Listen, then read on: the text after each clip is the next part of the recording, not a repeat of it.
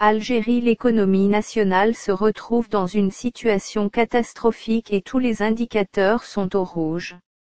Le secteur étatique, essentiellement basé sur les hydrocarbures, est tributaire des prix du pétrole. Quant au secteur privé, il est paralysé par les mesures prises par les banques dans le cadre de la lutte contre la corruption. En effet depuis la chute de Bouteflika et le début de la campagne de lutte contre la corruption, l'économie nationale déjà en mauvais état se retrouve en stagnation et otage de plusieurs mesures politiques. L'arrestation des patrons de grands groupes économiques et de hauts responsables a installé une grande méfiance dans le secteur financier et bancaire.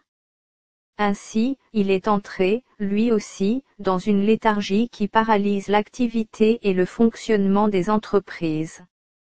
Cette situation a contraint pas moins de 400 entreprises du secteur du bâtiment et des travaux publics à rendre leur registre de commerce, D'autres chefs d'entreprise se plaignent de mesures bureaucratiques prises par les banques et de leur méfiance accrue dans l'octroi de crédits nécessaires au fonctionnement des entreprises.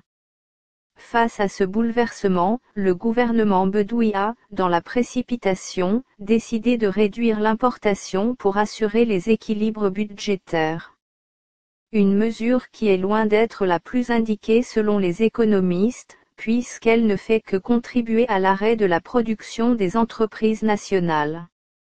Les importations algériennes ont été réduites de 4,30%, alors que les exportations ont baissé de 6,57%, selon les chiffres publiés par les services des douanes algériennes.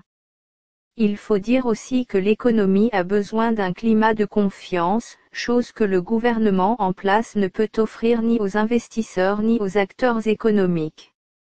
La relance de l'économie nationale ne peut avoir lieu sans la résolution de la crise politique que traverse l'Algérie.